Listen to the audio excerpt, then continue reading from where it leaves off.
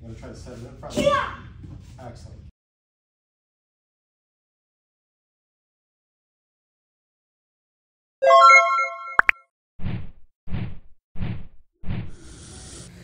মঙ্গল দীপ জেলে অন্ধকারে দু কালোয় ভর প্রভু তবু যারা বিশ্বাস করে না তুমি আছো, তাদের মার্জনা কর প্রভু। মঙ্গল দীপ জেলে অন্ধকারে দু কালোয় ভর প্রভু।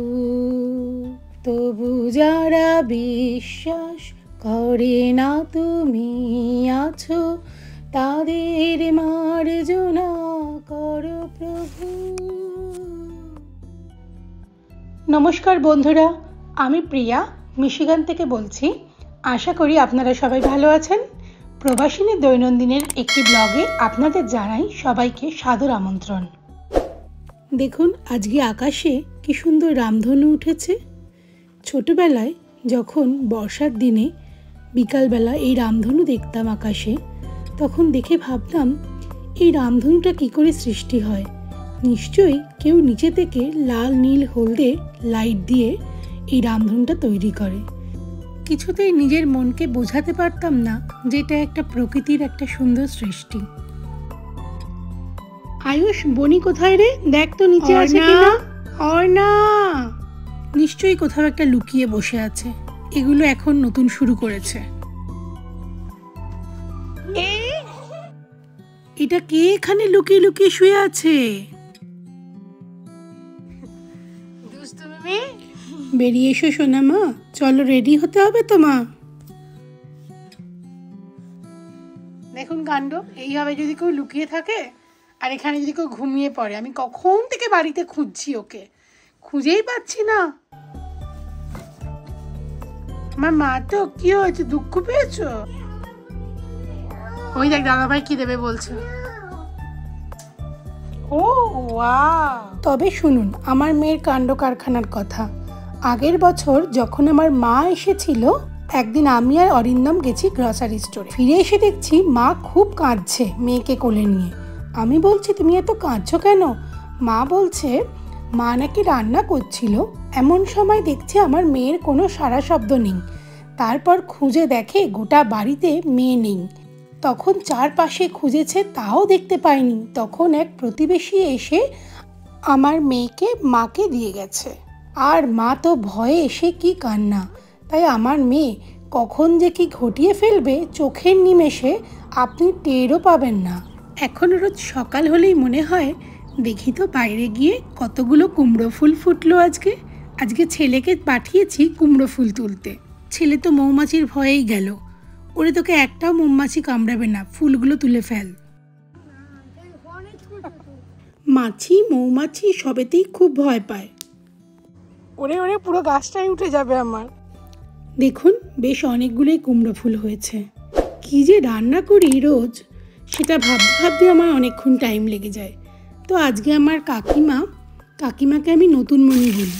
নতুন সঙ্গে কথা বলছিলাম যে রোজই তো কুমড়ো ফুলের বড়া খাচ্ছি। অন্য কিছু একটা রেসিপি হলে ভালো হয়। কি বানাই বলো তো? তখন আমাকে বলল যে, তুই কুমড়ো ফুল আর আলু দিয়ে পোস্ত বানা, ভালো খেতে হবে। ভাবলাম ভালোই হয়েছে। আজকে বেশ অনেকগুলো কুমড়ো ফুলও তুলে নিয়ে এসেছে। তাহলে তাই বানাই, কুমড়ো ফুল আর আলুর পোস্ত। আলুগুলো ভালো করে তেলে ভাজা হয়ে গেছে।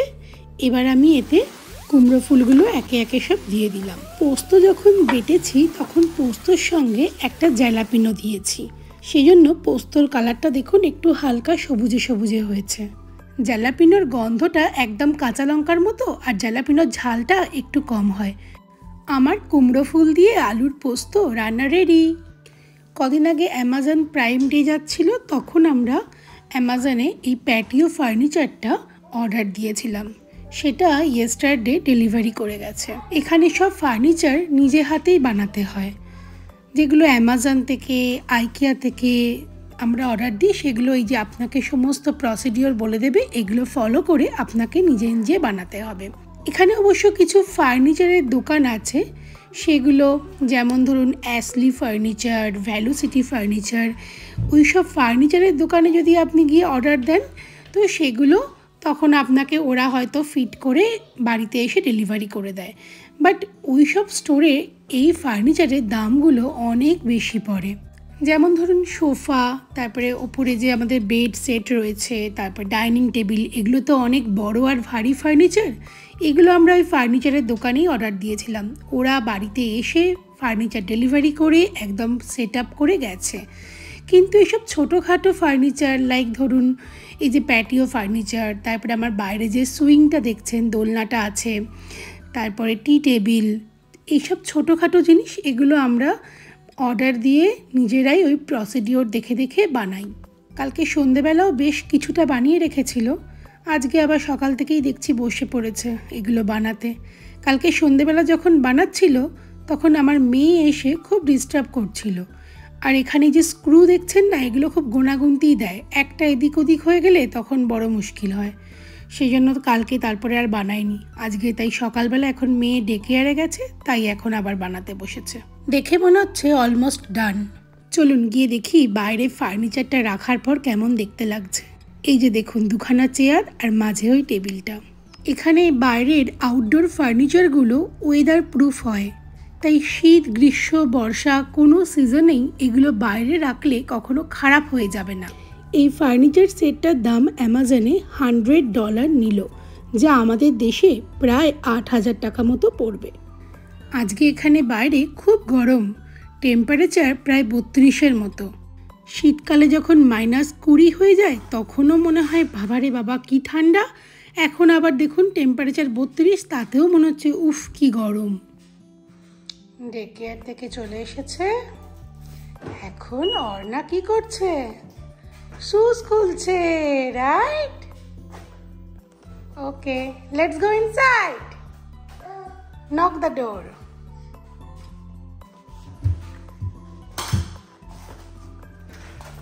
wow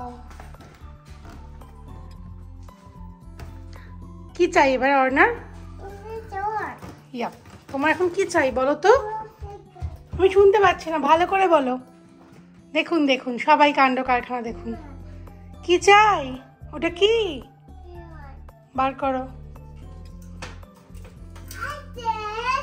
এটা চাই? Okay close the door thank you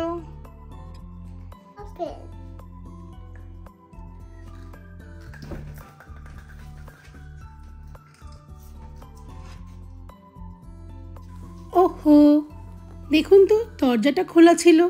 ভালো করে বন্ধ করা হয়নি। বাড়িতে ফিরেই ছোট্ট মাটা কত কাজ করছে। তাড়াতাড়ি পপসিকালটা ফিনিশ করো, তারপর চান করতে হবে। তারপর আজকে দাদার মার্শাল আর্ট স্কুলে এক্সাম আছে, সেখানে যেতে হবে। আমরা অলরেডি বাড়ি থেকে স্টার্ট করে দিয়েছি। এখন প্রায় মার্শাল আর্ট স্কুলের কাছে পৌঁছে গেছি। বেশিক্ষণ লাগে না জানেন, বাড়ি থেকে দশ মিনিট মতো লাগে। তো আমরা এখন চলে এসেছি। এবার চলুন ভেতরে যাওয়া যাক। আজকে আয়ুষের স্ট্রাইপ টেস্ট আছে, সেই জন্য একটু নার্ভাস হয়ে আছে।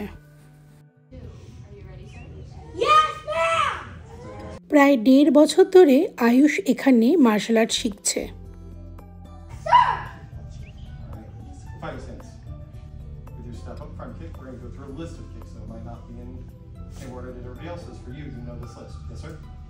Yes! Good. Step up front kick, go. Yeah. Excellent job. Like what said up front. Excellent. Good. Step up or slide up roundhouse kick. Show me. এই মার্শাল আর্ট শেখার জন্য প্রত্যেক মাসে আমাদের একশো পঞ্চাশ ডলার করে লাগে যা আমাদের দেশে প্রায় বারো হাজার টাকা মতো Yeah.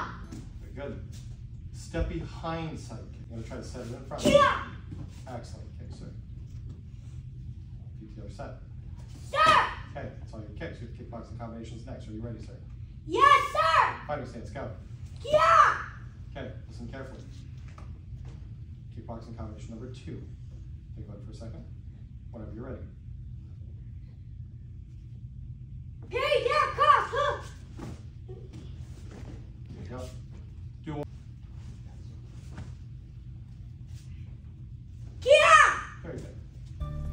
এই স্ট্রাইপ টেস্টে পাশ করলে তখন আপনাকে একটা বেল্ট থেকে অন্য আর একটা বেল্টে প্রমোশন দেওয়া হয়। যেমন ধরুন আমার ছেলে এখন অরেঞ্জ বেল্টে আছে আজকে যদি ও পাশ করে তাহলে ওকে ব্লু বেল্ট দেওয়া হবে।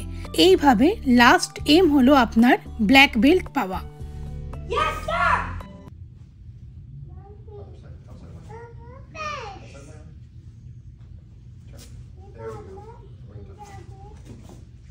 Yes, sir!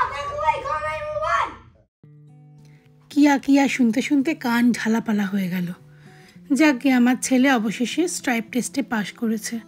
চলুন এবার আমাদের বাড়ি ফিরতে হবে। রিদম আগে পুলিশ আছে। কাউকে ধরেছে নাকি? হঠাৎ করে পুলিশটা মাঝ রাস্তায় দাঁড়িয়েছে কেন?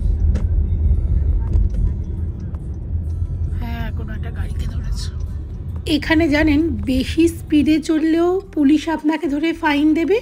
আবার যদি আপনি কম স্পিডে চলেন, তাহলেও আপনাকে পুলিশ ফাইন দিতে পারে। ট্রাফিক রুলসগুলো এখানে খুব ভালো করে আমাদের মেনে চলতে হয়। আমরা অলমোস্ট বাড়ি পৌঁছে গেছি। আজ তবে এখানেই শেষ করলাম। ফিরে আসব নতুন ব্লগে আরও অনেক গল্প হবে। ভিডিওটি ভালো লাগলে লাইক অ্যান্ড সাবস্ক্রাইব করবেন। কমেন্ট করতে যেন ভুলবেন না। আপনাদের কমেন্ট আমাকে অনেক উৎসাহ দেবে। দেখা হবে নতুন দিনে নতুন ব্লগে